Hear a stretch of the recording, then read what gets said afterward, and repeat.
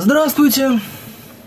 Следком в тяжелейшей схватке со всемирным злом НАТО и наступающим ЛГБТ.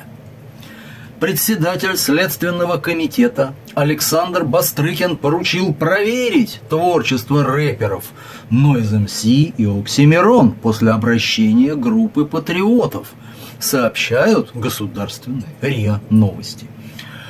В заявлении, опубликованном в одном из средств массовой информации, группа лиц просит главу Следственного комитета России проверить деятельность музыкантов Noise MC Иван Алексеев и Оксимирон Мирон Федоров сообщили в ведомстве. Там уточнили, что инициаторы нашли в текстах песен музыкантов попытки реабилитации нацизма и экстремизма, а также пропаганду негативного отношения к сотрудникам правоохранительных органов. 3 декабря на форуме МСК был опубликован фильетон – Дмитрия Якушева. Группа патриотов просит Бастрыкина пресечь преступную деятельность Нойс МС и Окси Мирон. Название такое. В частности, в тексте было сказано, цитата, слушайте, «Вот как Нойс МС рисует лицо наших силовиков. Шестерки, сексоты в погонах, идиоты, дураки в эполетах. По правде сказать, лица руководителей наших силовых структур действительно не всегда удачные. А когда они начинают говорить, то иногда кажутся агрессивными дебилами, порождающими депрессию и суицидальные настроения. Хорошо еще, что по телевизору перестали показывать депутата Ирину Яровую. Тут нужно что-то делать, потому что враги используют эту слабость. Нуланд раздавала печеньки.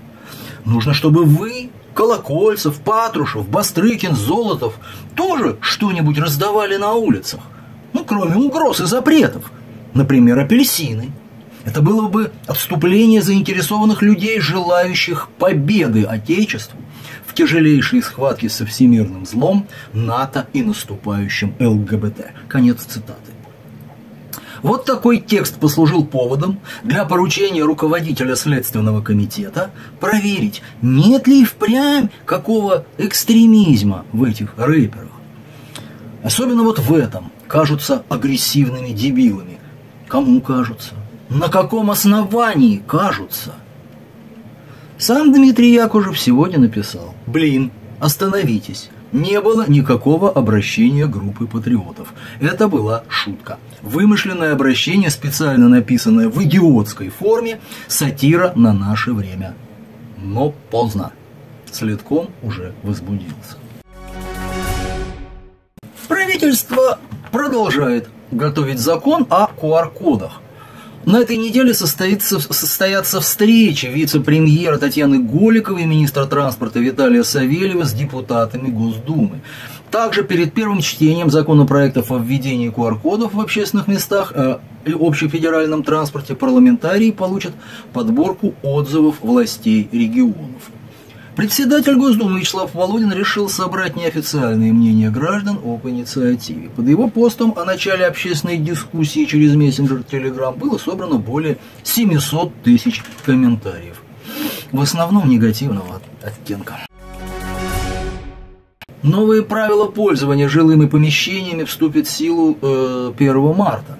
Соответствующий приказ Минстроя опубликован на официальном портале правовой информации. Владельцам жилья придется согласовывать остекление балконов и лоджий. Если не будет получено разрешение на такую процедуру, собственника квартиры могут оштрафовать на 5000 рублей. Кроме того, владельцы жилья заставят демонтировать незаконную конструкцию. Если при остеклении балкона была произведена перепланировка или переоборудование, штраф могут увеличить еще на 2500 рублей. Правда? Пока говорят, что не нужно беспокоиться россиянам, которые застеклили балкон до вступления в силу новых правил. Им штрафы не грозят. Но это пока. Вы можете доказать, что остеклили балкон до определенного срока? У вас остались какие-то документы на сей счет? Вот то-то и оно. В развале СССР виноваты не США и западные силы, а хаотичные и резкие реформы, заявил РИА Новости бывший председатель Совета министров СССР Николай Рыжков. В декабре 2021 года исполнится 30 лет со дня официального распада СССР. Не американцы нас развалили, хотя они поспособствовали этому, поскольку всегда стремились устранить такого конкурента, как СССР. Но я не думаю, что мы развалились только из-за внешних факторов, заявил Рыжков. По его словам, к началу перестройки накопившиеся в стране проблемы стали очевидными как в экономической, так и в политической сферах. Надо было проводить реформы, в первую очередь, в экономике. Не стоять в стороне от научно-технического прогресса, менять взаимоотношения предприятий и трудящихся. Очень правильные слова. Но странно слышать их от одного из главных реформаторов экономики СССР. Я тогда много писал в московском комсомольце о разрушительности реформ, которые предлагало правительство под руководством Рыжкова. Помню это все в деталях, Помню ходаков от премьера, пытавшихся вразумить молодого и неопытного журналиста. В принципе, для наших времен непривычная практика. Сейчас вразумляют из прокуратуры или из ФСБ. Кто был прав тогда, показало время. Кто разваливал страну, по-прежнему в фауре. Кто пытался сохранить, в заднице. А что? Главе МЧС поставят памятник в Москве. Комиссия по монументальному искусству при Московской городской думе одобрила предложение по остановке в российской столице памятника погибшему главе МЧС Евгению Зиничу, сообщает сайт Мосгордумы. Место возведения – сквер имени генерал-лейтенанта Дмитрия Михайлика на улице Кременчугская, дом 5, корпус 1. Получены положительные заключения Совета депутатов муниципального образования Филида Лыткова – Моском архитектуры и э, Мосгор наследия. Добавил, что инициатива установки памятника принадлежит Российскому военно-историческому обществу. Глава МЧС России Евгений Зиничев погиб 8 сентября в Красноярском крае, свалившись в водопад вместе с оператором, за что ему присвоено звание Героя России. О памятнике оператору и режиссеру Александру Мельникову пока не сообщается. Обычно вообще памятник на родине устанавливается дважды героям. И либо на родине героя, ну, в данном случае в Ленинграде, либо на месте совершения подвига, то есть на плато Путарана. С чем связана тут Кременчугская улица в Москве, ну, не очень понятно. России грозит дефицит картофеля. Картошку съели чипсы. Увеличение мощности по переработке картофеля в России на 50%, сокращение производства клубней в личных подсобных хозяйствах и падение урожайности из-за засухи грозят дефицитом картошки для потребителей уже в 2022 году. Об этом участники рынка предупредили Минсельхоз. По их мнению, без субсидирования производства нехватку клубней может заместить только импорт. Любопытно, что дефициту картошки предшествовал рост переработки. Если в этом году в России на переработку ушло около миллиона тонн картофеля, в следующем идет полтора миллиона, а в 2026 году уже 3 миллиона тонн. Интересно, во что же его такое перерабатывают? Может, сразу в деньги? По данным Росстата, в октябре картофель в среднем стоил 44,5 рубля за килограмм, на 78,6% больше, чем годом ранее.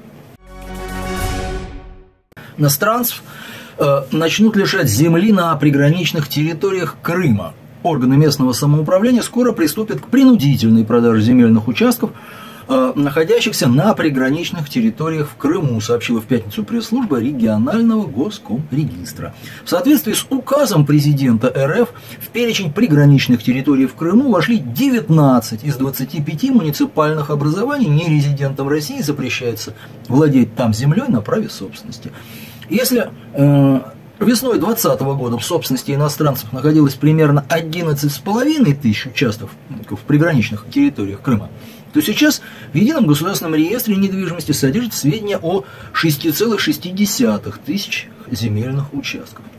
Ну, ясно, что речь идет о владельцах в основном с гражданством Украины, не пожелавших по каким-то причинам перейти в российское подданство. К примеру, человек живет в Киеве или там в Мелитополе, и у него есть дача в Крыму.